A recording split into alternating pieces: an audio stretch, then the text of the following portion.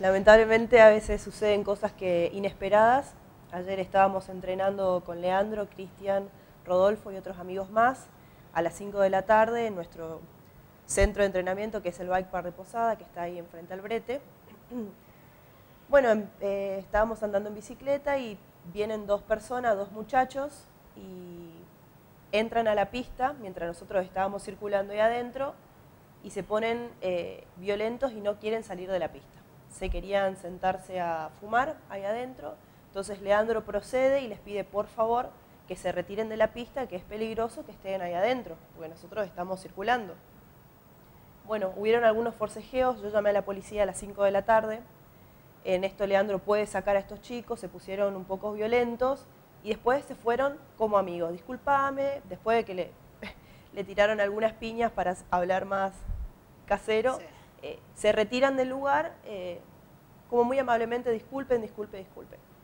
Bueno, a las 5 de la tarde llamé, la policía no vino hasta las 17 y 40, cuando a las 17 y 20 vienen estos dos sujetos con una persona más y entran a la pista con un machete, un machete de este tamaño. Yo lo único que escucho es que Leandro dice cuidado. Y empiezan, se meten adentro de la pista y empiezan a tirar machetazos. En eso había otro muchacho que estaba a punto de robarnos las cámaras, las GoPro, teníamos parlantes, nosotros llevamos todo nuestro set y nuestro kit para poder hacer nuestra producción de fotos y videos. Eh, bueno, Leandro empieza a forcejear, Cristian se defiende con su bicicleta. Vos imagínate que viene el flaco con un machete así a querer pegarte. Lo único que atinó es a, ponerse, a poner la bici y tirarle. Y, sale de la pista. Leandro recibe algunos golpes, un corte y logran sacarle el, arma blanca y ahí se retiran del lugar, obviamente corriendo y diciendo un millón de palabrotas.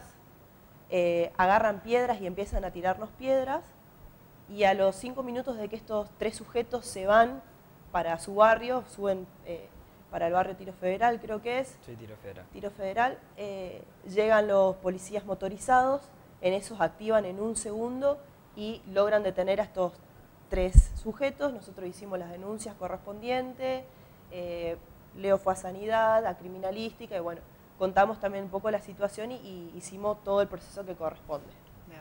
Eh, es un, como dijiste vos, un centro de entrenamiento y es súper importante, es el lugar en el que tienen acá en la provincia para realizar eh, las actividades y las prácticas y últimamente es, tierra de nadie. ¿Qué viene sucediendo más allá de la situación del, día de ayer?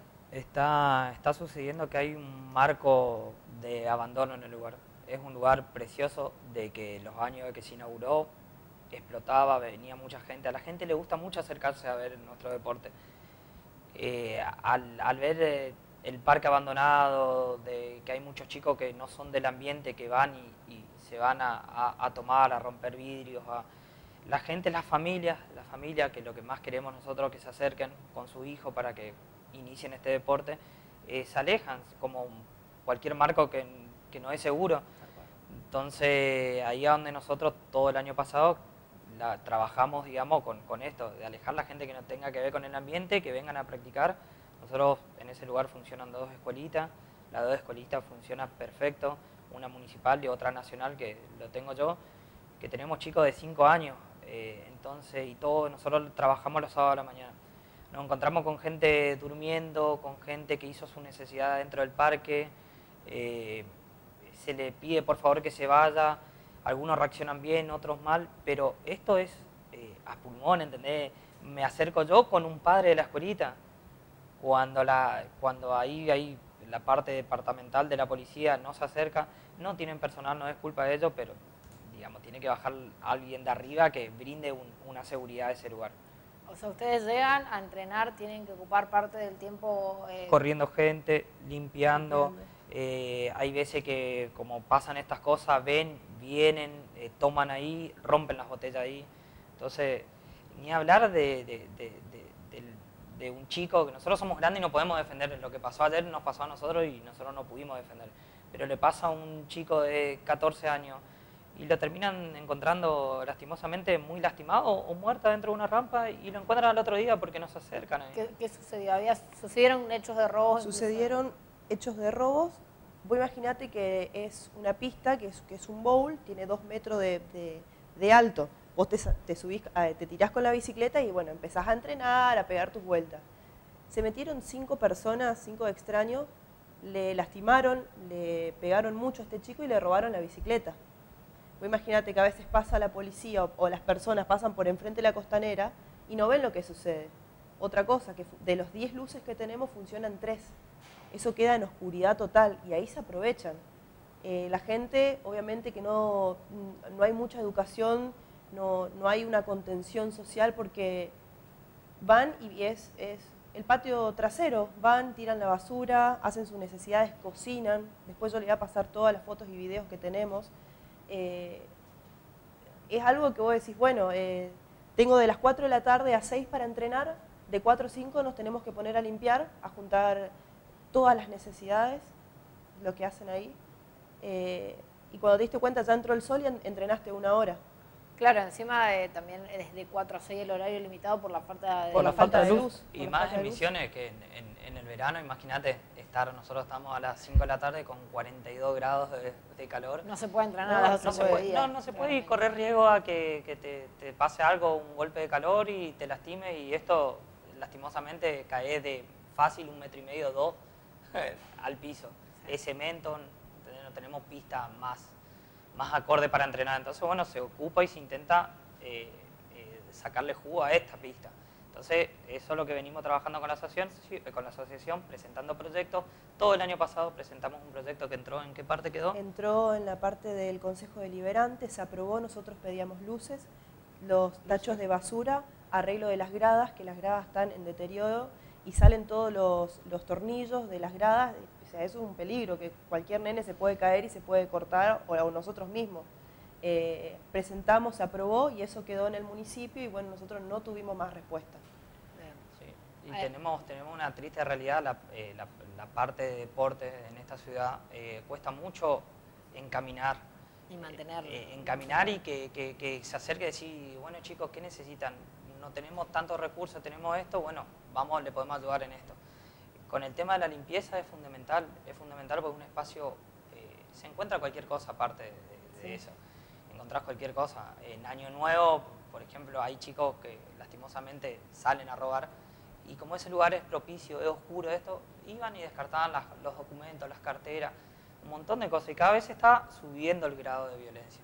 Con lo que pasó ayer, le pasaba a un chico de 13, 14 años y esto terminaba mal, nos pasó a nosotros que nosotros nos defendemos pero vinieron dos, tres personas, dos con armas blancas, ya es insostenible. Ya es, la verdad que pasa de nosotros ya, pasa muchísimo. Más allá de, los hechos de violencia que son lo más importante en esta situación, esto afecta a las competencias. Analia, vos próximamente estás compitiendo eh, internacionalmente. Eh, ¿Qué competencias tenés por delante y esto cómo afecta?